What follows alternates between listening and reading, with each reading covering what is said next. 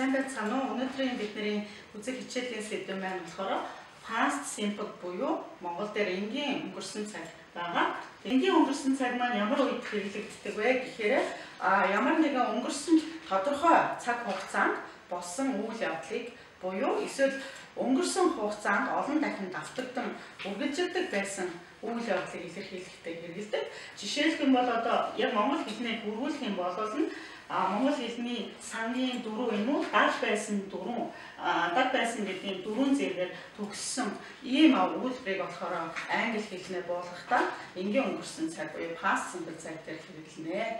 За тэгээд бүх бид нарын мэдж байгаа. I you he she гэдэг энэ олон биеийн төлөөний өгнүүд өгнүүд дээр бид нэр одоо өнгөрсөн цаг дээр өгүүлбэр зохиоход эдгээр өгнүүдээ а бүрнэг өгүүлбэрийн хувьд хамгийн өгүүлбэрийн ихэнх тавина. А тэгээд дараа нь үйл үгээ бид нар бичихтэй үйл үгийнхаа ард ED нөхцөл залгаж өгдөг. А мөн түнчлэн ED нөхцөл залгахаас гадна англи хэл бас дөрмийн бус буюу irregular verbs гэж байдаг. Энэ дөрмийн бус үйл өмнөд нь болохоор ардаа өнгөрсөн цаг дээр хувирхтаа ийдийн нөхцөл авахгүйгээр а бүр өөрийнхөө үгийн үндсээр өөрчлөгдөн хувирдаг байгаа. За жишээлх юм бол та дөрмийн үйлөг болон эсвэл дөрмийн бус үйлөгийн хувирлтыг өнгөрсөн цаг дээр хувирсныг харъя. За I worked yesterday. Би өчигдөр ажилласан. He bought a computer last year. Тэр өнгөрсөн жил компьютер худалдаж авсан. За тэгэхээр work гэдэг үг маань болохоор энгийн үйл учраас ардаа ED гэдэг нөхцөлийг авсан. А buy буюу а энд дээр buy буюу худалдаж авах гэдэг үг маань болохоор өнгийн өнгөрсөн цаг bought гэж бүтэн өөрийнхөө үгийн үндсээр өөрчлөгдөн хувирсан байна. За тэгэхээр энгийн өнгөрсөн цагаар санах зүйлүүд нь бид нэр энгийн өнгөрсөн цаг гэж яаж мэдэх вэ гэхээр бид нарт ашиглах түлхүүр үгс байна.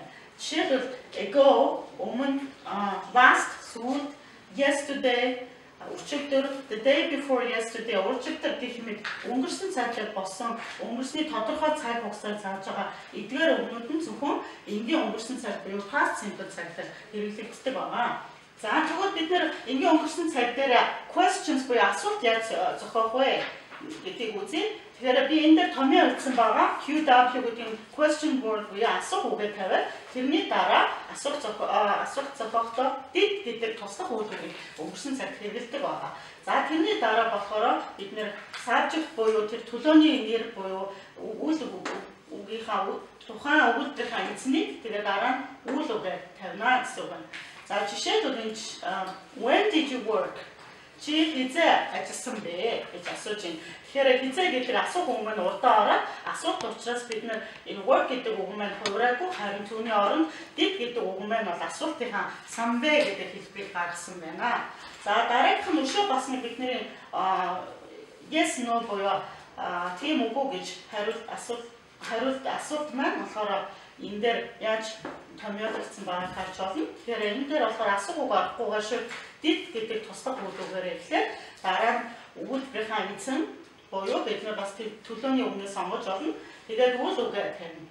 За жишээлбэл энэ дээр Did you buy a computer last year? За чи өнгөрсөн жил компьютер худалдаж авсан уу гэж асууж байна.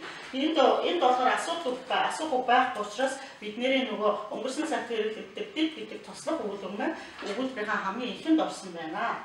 За дараагийнх нь бид нар болохоор ингээ өнгөрсөн цаг дээр яаж өгөөс гэсэн өгүүлбэр зохиох вэ? Буюу negative гэж англи дээр хэлж байгаа. За тэгвэл энэ өгүүлбэр зохиохын тулд эхлээд бас бид нэр өгүүлбэрийн эзнийг тавина тэр төлөөний өмнөдөөс сонгож олно өөр эзэн ямар нэгэн хүний нэр мэдчлэн эзэн байж олно.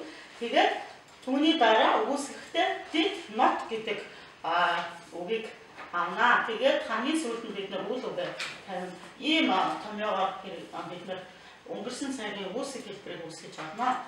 За энэ жишээд I did not work yesterday. Би өчигдөр ажиллаагүй За тэгэхээр ажиллаагүй гэдэг өгөөсөг хэлбэрийг гаргахын тулд бид нэр indeed not гэдэг туслах үйлүүгээ ашигласан. Тэгээ work гэдэг яг бидний үндсэн үйлүүг маань болохоор ерөөсөө хувирал байгаа таахан анзаарч байгаа хаа.